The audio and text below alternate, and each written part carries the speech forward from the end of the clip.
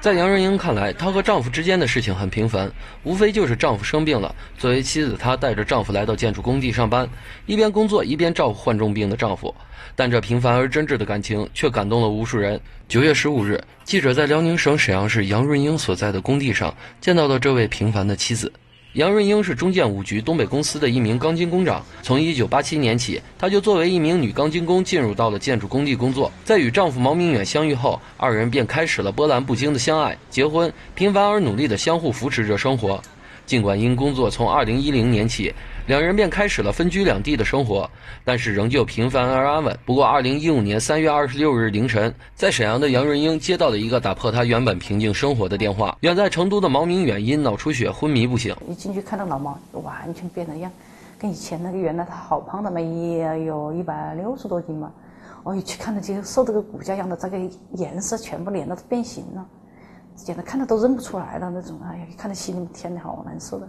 虽然毛明远的病情很重，甚至主治医生都断言他将会一直昏迷下去，但是杨润英抱着会有奇迹发生的心态，还是东拼西凑了几万块钱，让丈夫做了手术。皇天不负有心人，毛明远经历了多日的昏迷，最终还是醒了过来。但是这才是对杨润英考验的开始。因病，毛明远起初近乎瘫痪，吃喝拉撒睡全都需要杨润英照顾。更加艰难的是，毛明远拒绝接受治疗，并且性情也变得十分暴躁。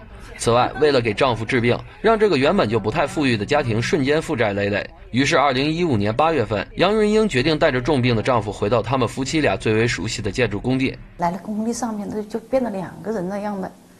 来到工地上面的话，就好，哎，早上也起得早，早上起得早嘛，就是吧，就那个嘛，一喊他，他马上就起来了，就有锻炼的意识。那家里面就不肯，家里面不肯起床，不肯见人。所以说，还我们觉得还是带他到工地上来的，还是带对的。回到建筑工地后，虽然受到了领导和同事们的极大帮助，但是杨润英并没有依赖他人的想法，工作仍旧一丝不苟。凭借着丰富的经验和严谨的态度，成为了所在项目上出名的女强人。四年来，他所负责的钢筋部分从未出过半点差池，而公司考虑他特殊情况所提供的多项福利和奖励，却都被他一一谢绝。在他看来，平日里已经受了大家太多的帮助。他已经很感激了。那同事那些也挺挺理解的。你虽然再理解的话，有些事情自己活还是自己要那个干好。现如今，即便他的故事登上了媒体，被众人所知，他还是过着辛劳并且平淡的生活。每天准时上班，一下工就跑回去伺候他的老毛。每天最大的业余活动就是陪着丈夫散步。在采访中，杨瑞英告诉记者，如今她最大的愿望就是毛明远的身体能够再好一些，有一天带着他去旅游。嗯，因为我们觉得好像我们两个出去旅游，他还没出去过 那种正儿八经的旅游。然后把他笑着赶快把身体养好。我们看到的那个同事那些东西老发朋友圈不？就说我说看看看别人一家都是幸福的一家，都就像说好久我们也一家人去呗。